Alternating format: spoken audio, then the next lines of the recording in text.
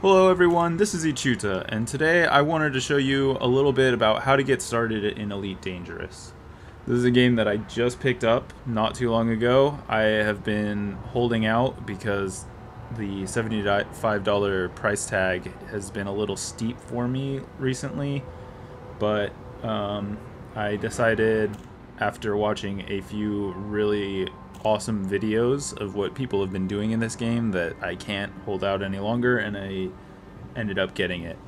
So if you haven't noticed already, which for the people that are um, just starting out you probably haven't, I am not in a starter ship right now, but I am going to show you a little bit of, about how I got into the ship that I am in now.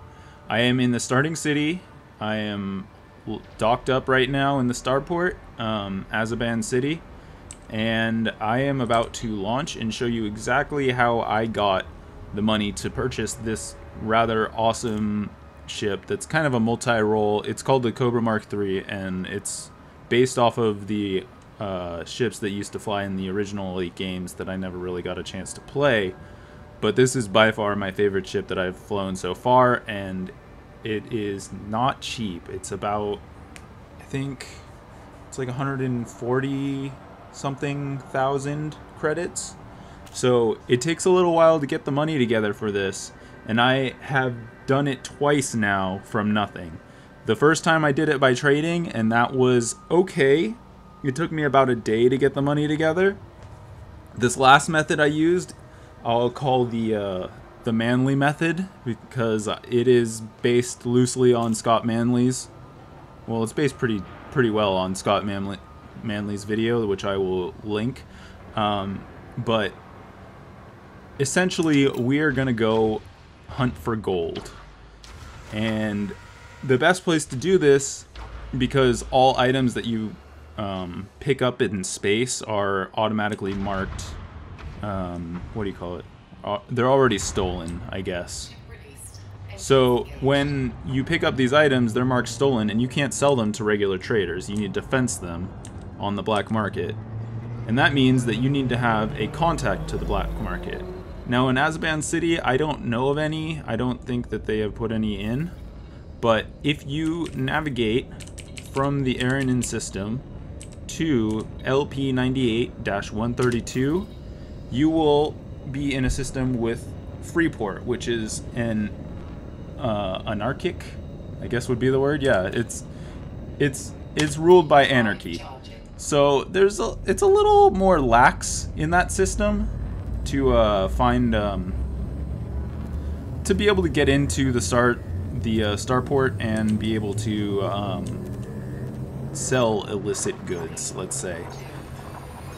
Um, so right now I'm just jumping to that system and um, I plan on doing another video later on that will kind of go into the subsystems and show people how this game really works, but you can kind of get an idea of what I'm doing by watching the screen.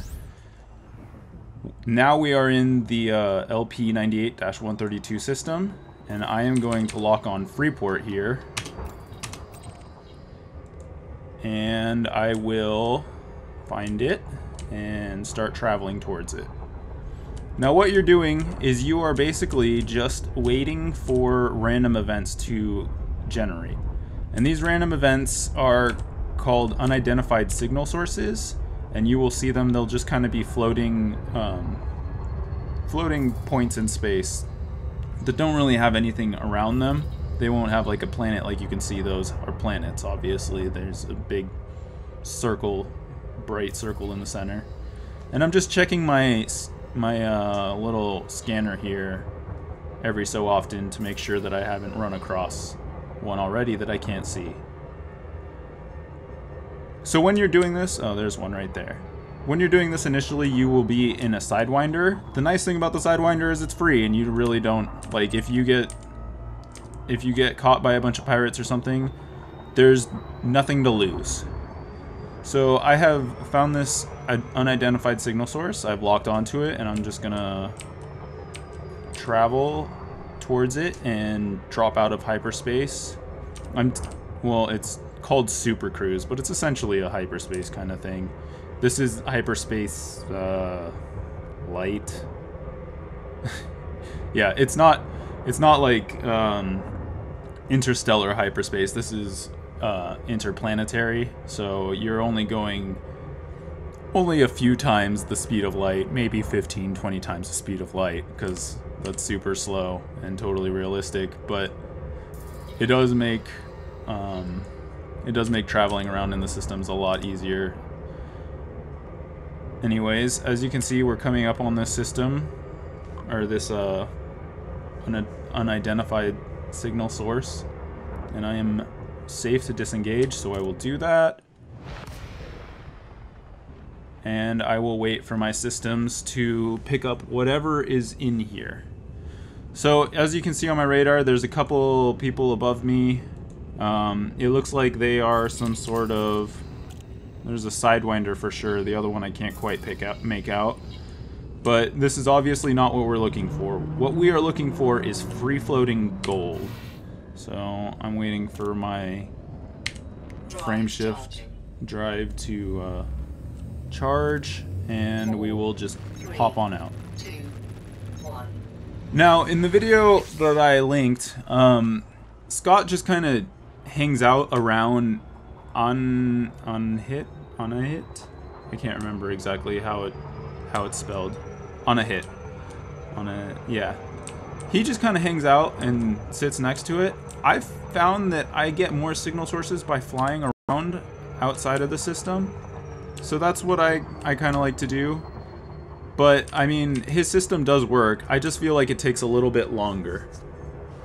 So, what you once you find this gold source, pretty much there are two scenarios. There's either it's just free floating gold, you just pick up as many as you can and then you return to the to uh, well you go to Freeport and and fence it. The other scenario is that as you're picking up the gold, a pirate will drop into your instance and basically attack you and try and try and kill you. So you need to be very um, cautious when you do these um, instances and where you can tell is the the comm system will show you what the uh, pirate is saying, and as well as the info will say that you have a new contact. So we're dropping into another one of these unidentified signal sources, and we will see. Oh, it looks like just another couple couple of guys. These ones are well defined. Cobra Mark 3s. If anything, they will attack me, so I am not going to deal with it. I'm just going to wait for my drive to come back online and then get out of here. There we go. So as you can see, it's a it's pretty much just a waiting game. You have to spend the time. It doesn't take that long though, especially compared to trading and more legitimate ways of getting the money this is by far the quickest because each uh, ton of gold, the, the standard basic unit is a ton. Each ton of gold is worth 4,500 and something credits. And in your basic Sidewinder, you're able to carry up to four of these four tons of gold.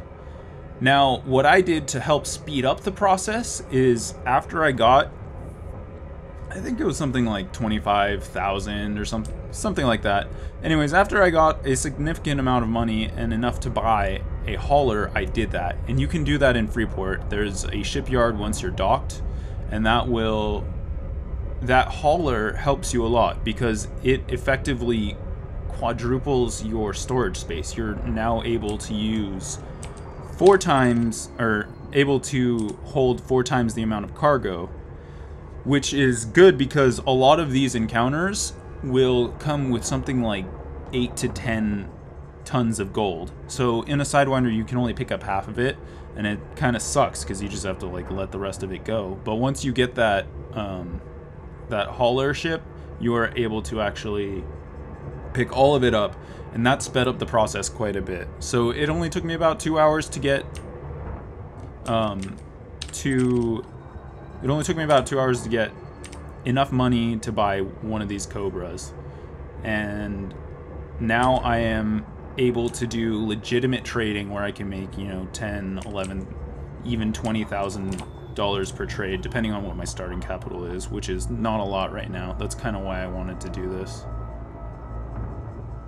Totally screwed that up. I wasn't paying attention to my speed at all. Alright. And there's my cat walking by. Alright, nothing here again. So this is this is really just not a productive session that I'm having here. And I mean really it is all just up to dumb luck. Sometimes you get lucky and the first the first um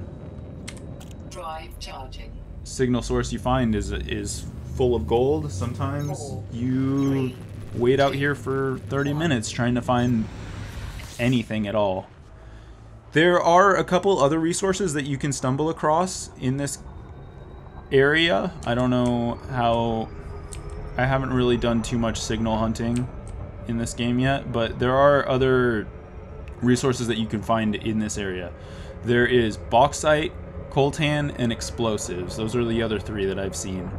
Now, bauxite is absolutely worthless, and Scott will tell you about that. It's worth like 10 or 20 credits per ton.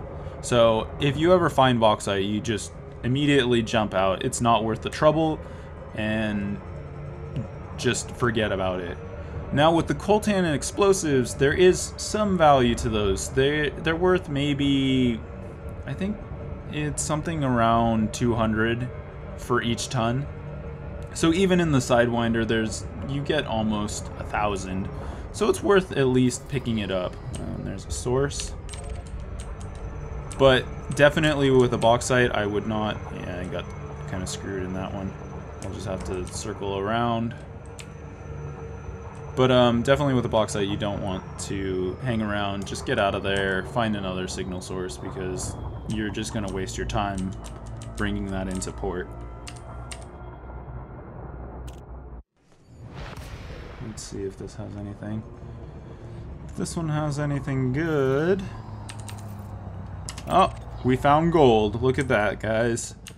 So, now that we have found some gold, and if I can learn how to pilot like a real person... I'm a terrible pilot, guys, sorry. It's... I know. I know how bad this is for anybody that actually plays this game. but, you know, you do what you can. I need to... I don't care if I'm going back. I need to eject this. Retracted. Alright. So... Oh, great. I just picked up the, the bauxite that I just dropped. Alright, get out of here. Alright. So I'm just gonna line up here with the, uh... I don't know why it's giving me that bug. It keeps telling me the cargo scoop's deployed.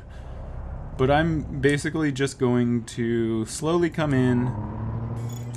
And when you see those red lines and that annoying alarm, that means you are going too fast. And just kind of line up. This is a nice long string of gold. So what I'm going to do is I'm going to basically just pick up one by one each piece in the line. And my impact sensor is going off, but I know because I am trying to pick up some stuff right now. And I destroyed it because I missed. Again, brilliant piloting by me. Um, we'll try this one more time. Let's see here. T.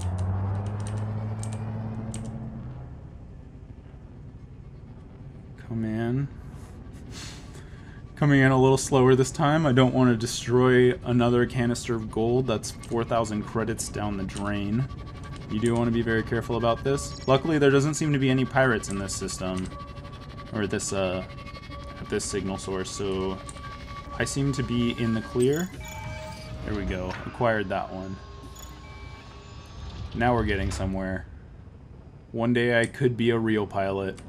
Um, let's see here. What's closer? That is 546. That is 553, so this side is closer. I still don't really understand the radar sometimes. It definitely gives you funny, um, it makes things look kind of odd.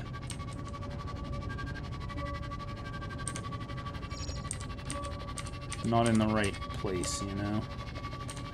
Alright, come in nice and slow. And perfect.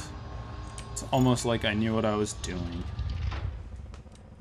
Alright, let's line all of these up. See, now I'm in a nice... I have these all lined up. I am going to find the closest one, which I think is... No, that's not it. Where is it? Oh, there we go.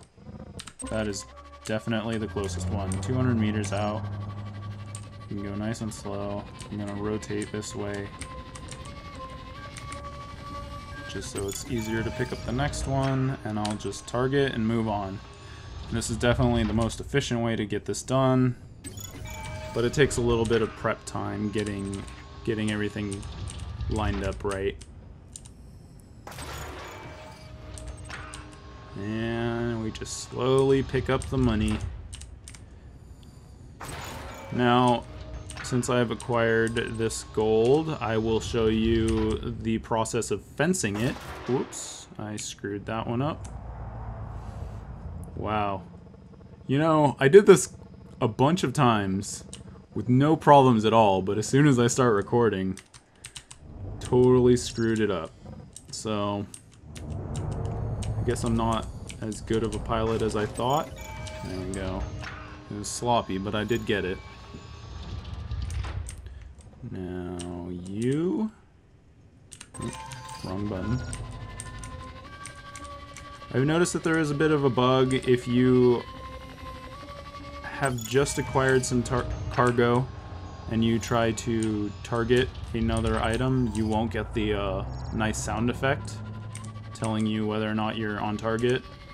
Uh, I'm sure the devs are working on that, but for now we just have to deal with it. See, just like that.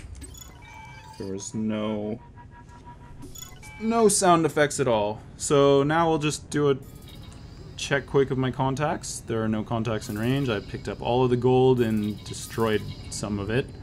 And I can now navigate to Freeport.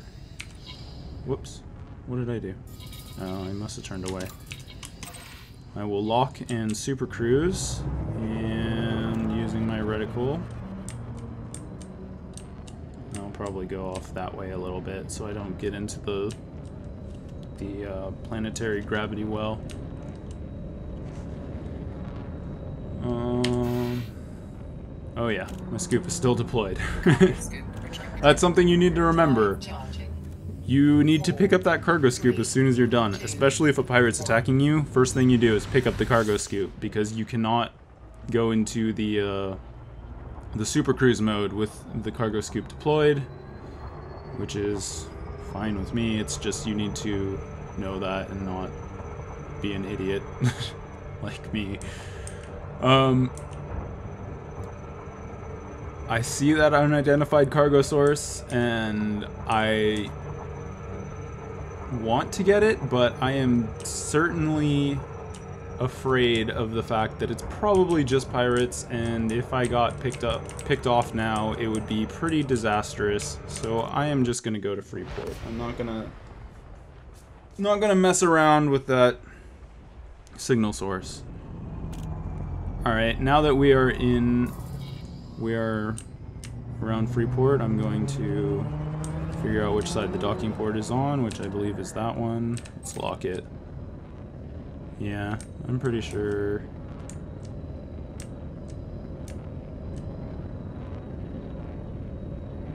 Pretty sure it's on the other side. You can always kind of move around in space, and as you can see on the targeting computer, the model is changing, so there we go. The docking port is directly opposite of the way that I'm facing. And I will just reverse. Wow. this ship does take a while to slow down. That's probably why I crashed it into the port in the first place. But I'll just reverse. And then go into flight assist off and flip my ship around. That way I know I'm heading in the right direction. Sometimes it can be tricky to assess which side is is uh, has the docking port. Oops. On these stations because they're not there's no like good indicator. And we will kind of come around and boost in. Another trick you can uh, use is when you have your assist off, you can see up there with the light, your maximum speed can be held instead of having to constantly fight the uh, assist computer, the flight assist computer.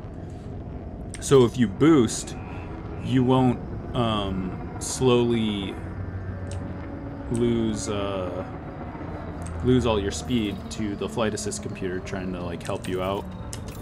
I don't know if this is a bug or if this is something that's going to stay for good, but it is good to use right now at least. So now I am going to try not running into this space station. I will put out my landing gear just to slow me down a little more. Take this nice and slow. I've learned my lesson. 34 is right here. Alright. And we'll just come in nice and slow and land. And then I will show you how to fence these stolen gold canisters. Pad loitering? No. Wait. Why did I think 34? I am pad 21. Wow. Do not game when you first wake up in the morning. Jeez, this is this is really bad. Alright. Now that I'm actually going to the right landing pad, we will slow down and drop down a little bit. Oops, a little far.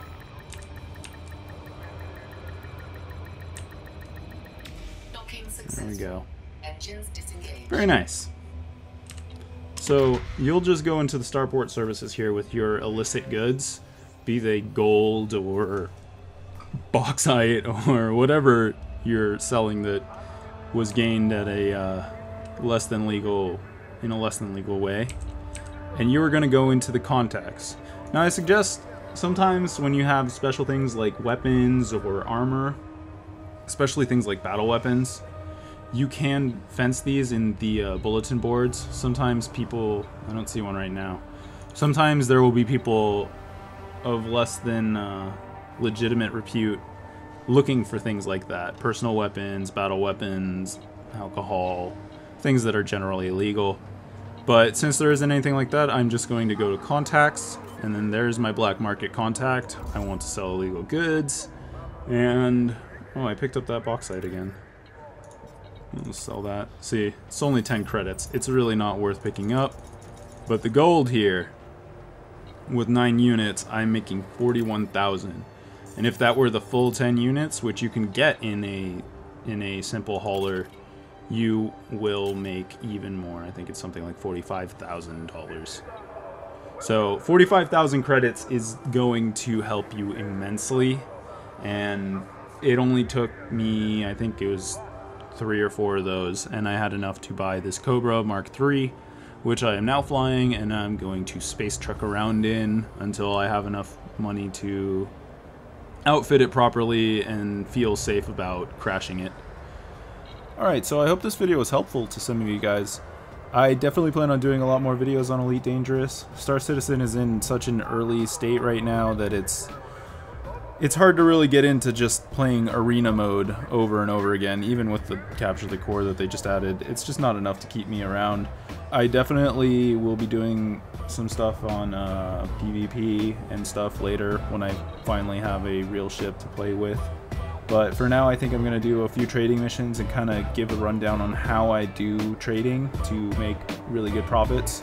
And then if there's anything in particular you guys are interested in, let me know. I mean, maybe you want to know about bounty hunting or smuggling or whatnot. So I'll definitely be more than willing to look into things and produce a good video about it. So thanks for watching, and I'll see you next time.